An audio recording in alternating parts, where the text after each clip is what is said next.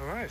Yeah, good. He ran really well. Um, settled well over the first two, so he was almost drying up on me a bit, turning away from home. So just wanted to just get him up sides one, just to get him taking me through the race a bit.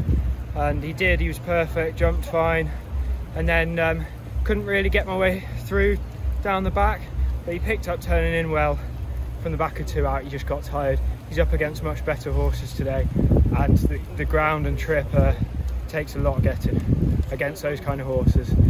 You got to be, you got to be pretty good.